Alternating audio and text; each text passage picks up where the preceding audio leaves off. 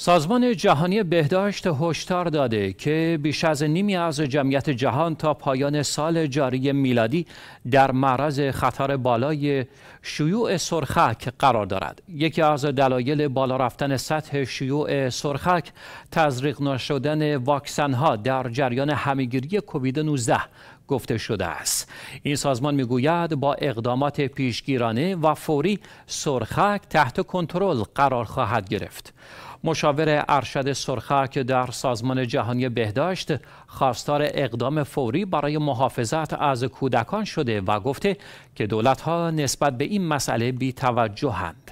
سرخک یک ویروس واگیر است که بیشتر کودکان زیر پنج سال را مبتلا می کند. به گفته سازمان بهداشت جهانی با دو دوز واکسن قابل پیشگیری است و از سال 2000 تا کنون از بیش از 50 میلیون مرگ جلوگیری شده است.